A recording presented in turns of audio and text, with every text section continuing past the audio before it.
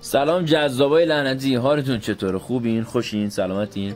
امروز اومدیم دانشگاه تهران دانشکده مدیریت. می‌خوایم یه چرخی تو دانشکدهمون بزنیم و بعد بریم به سمینار اسب سیاه.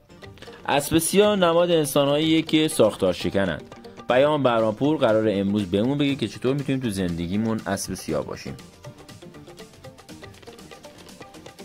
یکی از چیزهای جالبی که تو معماری دانشکده مدیریت هست اینه که هر جای دانشکده رو نگاه کنی یه حوز هست.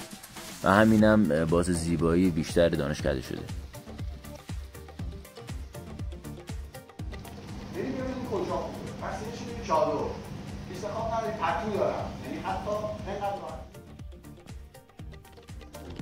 بعد از سمینارم جمع شدیم و به اتفاق بچه ها رفتیم به نمایشگاه بین المللی کتاب تهران.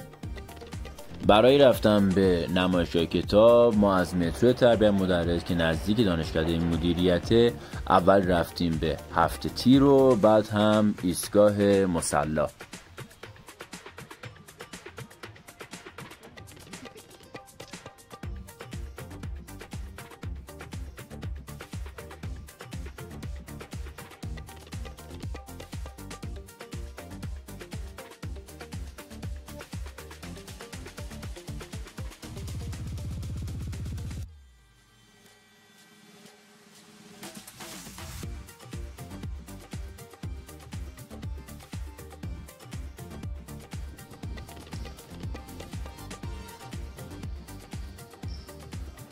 اول رفتیم سمت کتاب های آموزش کنکور.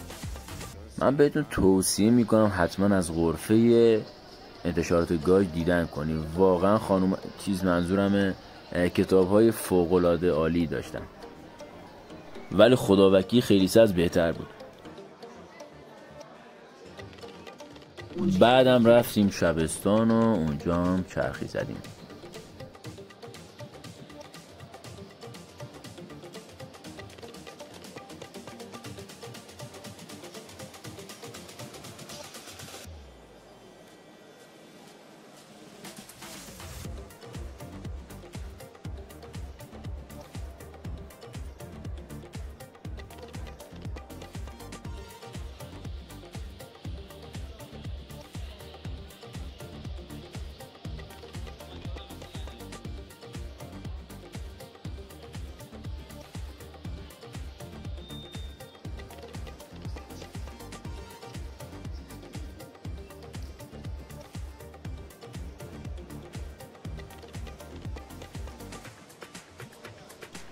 فقط یه بارون کم بود که اونم اومد.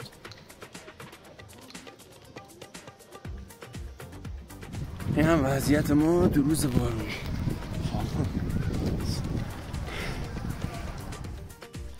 از اونجا هم رفتیم پارک لاله. واقعا تو این هوای بارونی حال می‌داد اونجا قدم زدن. چیز جالب هم اونجا پیدا کردیم. خودتون ببینید.